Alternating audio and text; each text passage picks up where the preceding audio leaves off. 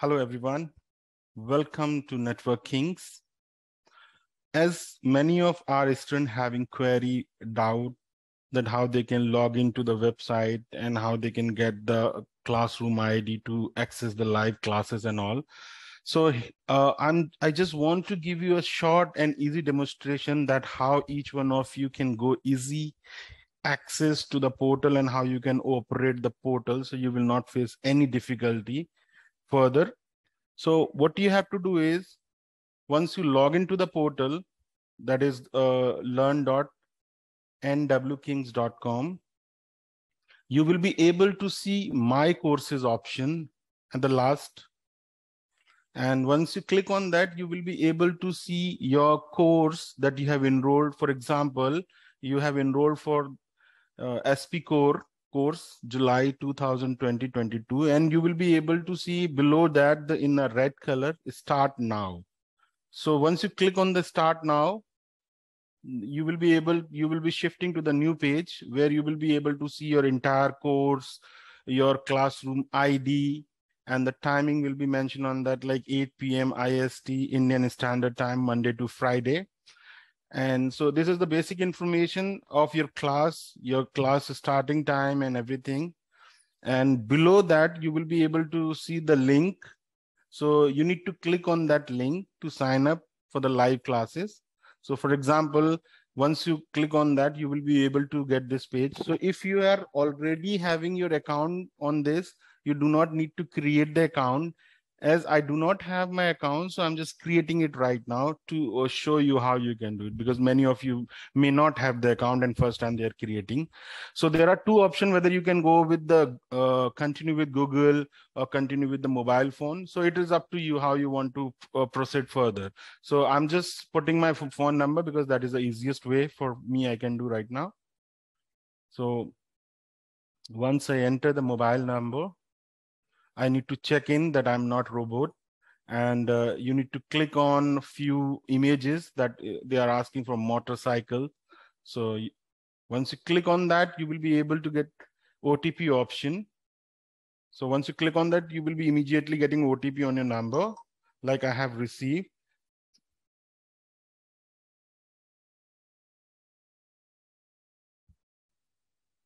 So once I put the OTP, I need to sign in up.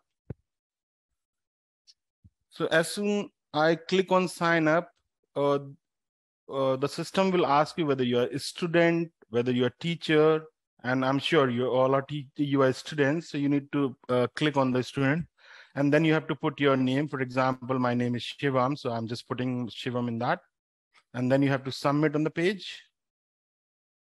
So once you submit the page, you will be able to see the classroom ID. Okay, so I hope you're aware because you know this is your classroom ID. So you need to you you cannot copy paste it because you need to manually type this one. So I'm just uh, taking this number or the, these digits and putting into my classroom ID.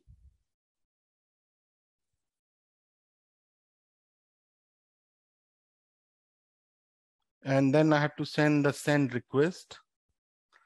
So once I send the send request, I'll be able to see this page. and uh,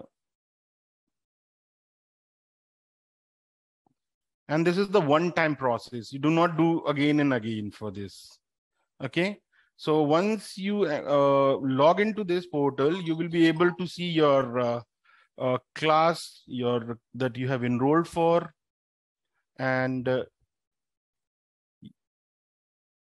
and then you have to click on the class.